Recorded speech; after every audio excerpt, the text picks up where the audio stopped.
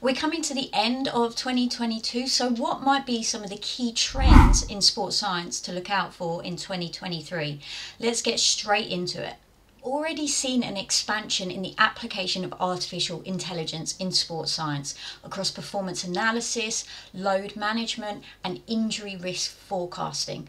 I myself am in the middle of a series in partnership with Zone 7 to explore what sports scientists need to know and be asking about artificial intelligence. But it's not just AI in terms of use in our data, but also other applications as well.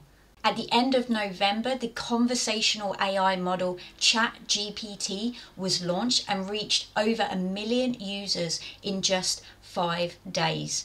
As well as this conversational bot application, we see now research assistants like Elicit or AI driven organizers like MEM.AI. So there are a multitude of AI applications that are expanding, not just for the sports science practitioner, but also for the academic and the student. So it'd be really interesting to see how the sport and exercise science community responds to all these applications as data continues to expand in sports analytics, along with some of these newer analytics model types such as machine learning and AI, we need to continue to respect the privacy and the ownership of the data in relation to the players. And one of the key ways of doing this is through increasing their interest and engagement with the data. At the recent Men's World Cup at the end of 2022, we saw for the first time the unrolling of the FIFA Player app, which for the first time gave players direct access to their own individual performance statistics.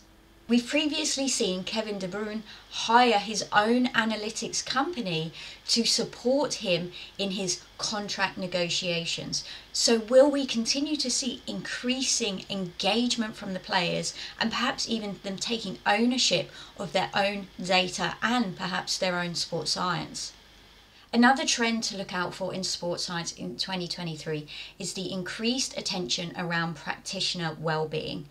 Now, this movement is perhaps in conflict to the traditional approach of embracing the grind and making work life sacrifices and being part of the hardest working staff in your sport or your league. But there is growing movement to take better care of your own well-being given the demanding environment that we are expected to work in and voices like Brett Bartholomew, Josh Fletcher, Dan Howes, to name only a few, are really lending their time and attention to mentoring practitioners to be able to take care of their own well-being in these settings. One of the biggest trends undoubtedly in 2022 that I think will continue in 2023 is the increased evolution and attention on women's sport. Of course, the England women's successes in the European Championships have we've seen recently led to over a 200% increase in atten- attendance at WSL games. But as well as the increased performances and participation and TV and media coverage, we're seeing more and more calls and more and more research being published on the female athlete but of course, there is a lot of work to be done to understand the demands of the the evolving demands of the sport, as we saw through Dawn Scott and Paul Bradley's work, comparing the FIFA World Cups in 2015 against 2019 and the massive evolution in physical demands. We've read editorials such as this one, led by George Nassis, about the challenges of the women's sport evolution and the research that needs to be done to understand the physiological responses, the recovery times, the effect of the menstrual cycle on physiology and performance, to name only a couple of areas of interest. But we're also seeing increased attention as well on things like female specific apparel and more investigation into sports bra designs and football boots for the female foot. I've previously written about the compromise, the trade off between precision and practicality in sports technology. That generally the most precise, accurate technologies aren't the most practical, and therefore we have to find the best compromise in this trade off. But as technology continues to evolve, I think we'll see the upsetting of this trade off. We've already seen massive evolution in something such so simple as the iPhone camera. So apps like Carlos Balsalobre's um, iPhone apps that he provides a suite of testing just through an iPhone.